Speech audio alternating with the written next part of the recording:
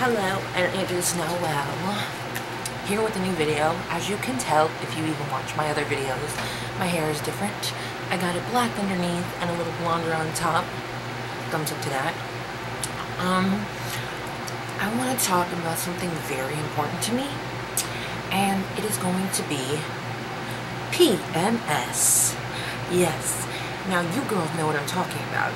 It's that one time a month we get punished for not getting pregnant. That one time a month we want to rip someone's head off. That one time a month blood doesn't come out our nose. It comes out our vagina. Yeah. PMS is amazing. It's like the best thing to ever happen. And you get cramps, which is just awesome, right? I mean, who doesn't like to bend over in pain, screaming, saying, please, God, make them go away? Um, who doesn't like to wear tampons or pads and bleed and bleed and bleed and never know when it's going to start or when it's going to stop? Um, who hates those people who only have their period for two days? Ooh, I hate you. Um, oh yeah, bloated. You feel like a freaking whale. And then, because you feel like a freaking whale, you're in a freaking bad mood. Which you're already in a freaking bad mood because you're in your freaking period. So thumbs up to the two times bad mood. PMS, you just keep on giving. It's like torture. If you've seen Hostel, then you know what I'm talking about. It's like that. Someone has captured you, they are tying you to a chair, and they are torturing you in front of people.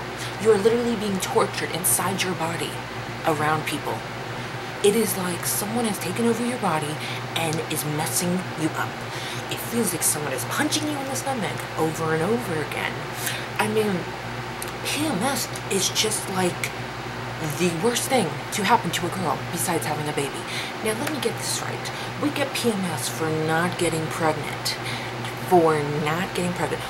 So basically, in order for me to get off the PMS, I should get pregnant. That's what they're teaching you, basically. Hey, you don't want PMS? Get pregnant. So yeah, if you're a girl and you get PMS, then you know what I'm talking about. Uh, other people might not understand, such as guys. They don't understand. Sorry. They don't understand. They're like, uh, it's not that big a deal. Uh, you are just being dramatic. Guys, let me tell you something right here. You you tell that to a girl while she's on her period, expect to get smacked because I will smack you. My brother's like, um, oh, it's just a period. You're just moody. Have you ever had a period? Have you ever had to go through what us girls have to go through? My heart goes out to everyone out there, especially the ones who have their period for a freaking week. For a week you, you get your period and you feel like a totally different person. Yeah, you're moody, but it's not your fault. You can't help it. You just are moody. And then people, every time someone says something to you, it sets you off because they're idiots and they don't understand what you're going through and it's painful and you just want to crawl up in a ball. And then when you crawl up into a ball, that hurts. So then you have to move a different way. That still hurts. Move a different way. That still hurts. Then you have to sleep and uncomfortable and wear dark clothes because you're afraid you might bleed through and it shows on your pants or on your bed. PMS, you suck. That is all I can say. If you know what I'm talking about, thumbs up this and comment below whatever. I mean, we hate PMS. I think I can speak for all girls when we say PMS, you suck and you ruin our life once a month. It's once a month where we are tortured. Once a month.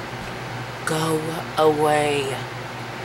Alright, so if you enjoyed this video of me talking about PMS, then thumbs up it, like I said before, and follow me on Twitter at the City of Lights, so we can talk about those girls' times. Alright, peace!